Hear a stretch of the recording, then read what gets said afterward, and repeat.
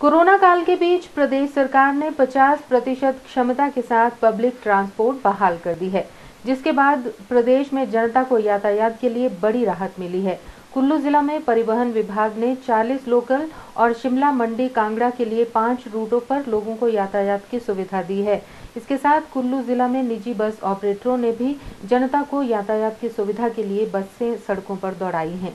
कुल्लू जिला में auto taxi ऑपरेटरों के साथ पर्यटन कारोबारियों को भी बड़ी राहत मिली है। पब्लिक ट्रांसपोर्ट बहाल होने से बाज़ार में लोगों की आवाजाही बढ़ी है, जिससे कोरोना संक्रमण फैलने का फिर खतरा बना है। ऐसे में लोगों को सरकार की गाइडलाइन का पालन करना बेहद ज़रूरी है। स्थानीय टैक्सी ऑपरेटर प्रेम ने बताया कि सरकार ने प्रदेश में अनलॉक कर दिया है, जिससे टैक्सी ऑपरेटरों को अपने अच्छे व्यवसाय की उम्मीद जगी है। टैक्सी जो ऑपरेटर है आज की डेट में बहुत तंग हाली के दौर से जो है वो गुजर रहा है। आज जो है कई भाई ऐसे हैं जिनके पास राशन की कमियाँ हैं, कई भाई ऐसे हैं जिनकी गाड़ियों के डॉक्यूमेंट्स जो है वो कंप्लीट नहीं है, अनकम्प्लीट है, इंश्योरेंस जो है वो पेंडिंग है और जो बाकी टैक्स वगैरह जो है गाड़ी के वो पेंडिंग पड़े हुए हैं। लेकिन कई भाइयों के जो है टायर घिस चुके हैं। लेकिन ये है कि फिर भी पंद्रह बीस दिन की उम्मीद है, टूरिस्ट आएगा जो लोग घरों में बैठे हैं, वो घूमने निकलेंगे। और हमें उम्मीद है कि कुछ थोड़ा बहुत कमाएँगे, जिससे कि अपने बच्चों के लिए और अपने परिवार के लिए जो है गुजर बसर का थोड़ा सा निकाल पाएँ। तो सरकार का बहुत धन्यवाद है, लेकिन हमारी तरफ़ भी सोचा जाए कि जितना ये लॉस हुआ है, या टैक्स में रिलैक्सेशन दी जाए इंश्योरेंस में जो है वो रिलैक्सेशन दी जाए, क्योंकि ये सरकार का दायित्व है। हम भी जो है करोड़ों रुपए जो है वो पूरे हिमाचल में पच्चीस हज़ार टैक्सी ऑपरेटर हैं। और वो जो है रेवेन्यू सरकार को देते हैं टैक्स वहीं टैक्सी ऑपरेटर राजेश ने बताया कि सरकार ने अनलॉक का फैसला लिया है वो स्वागत योग्य है।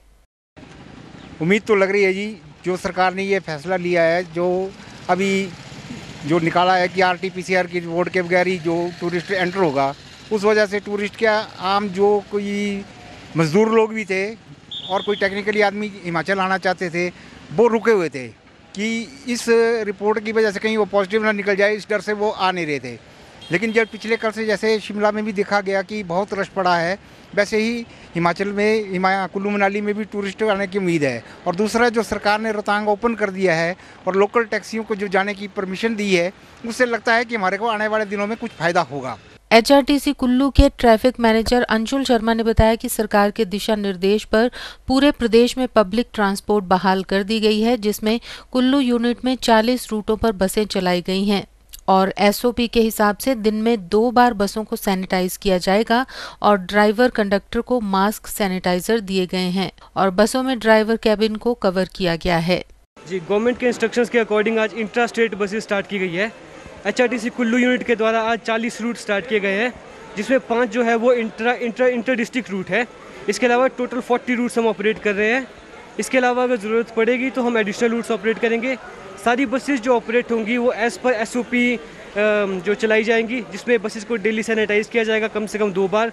इसके अलावा जो ड्राइवर कैबिन है उसको सेपरेट किया जाएगा और ड्राइवर्स एंड कंडक्टर्स को जो है मास्क एंड सैनिटाइजर्स प्रोवाइड किए जाएँगे। वहीं स्थानीय निवासियों ने बताया कि पब्लिक ट्रांसपोर्ट खुलने से यातायात की सुविधा मिल रही है। अब लोगों को परेशानियों का सामना नहीं करना पड़ेगा। लॉकडाउन जो खुल गया है इसकी जो हम बहुत प्रशंसा करते हैं कि आज पब्लिक के लिए बहुत खुशखबरी है कि मतलब राहत मिली है। थोड़ा हम ये जनता से शो करते हैं कि मतलब थोड़ा अपनी स्वास्थ्य के लिए जो है अपना भेदभाव दूर रखें। दो गज की दूरी थोड़ी ज़रूर रखें। यही इसके हिसाब में आपको। हमें बहुत सुविधा मिली है। आज जो हम मैंने अपनी मिसेज के लिए दवाई के लिए ले आई थी, जो आज बस जो मिली हमारे लिए, इसके लिए बहुत खुशी है। मतलब सरकार का मैं बहुत धन्यवाद करता हूँ। तो आज से ये बसें खुली है तो लोगों को बहुत सुविधा हुई है, क्योंकि जो दूर दराज के लोग हैं, उनको भी आने जाने में बहुत सुविधा मिली है इसमें।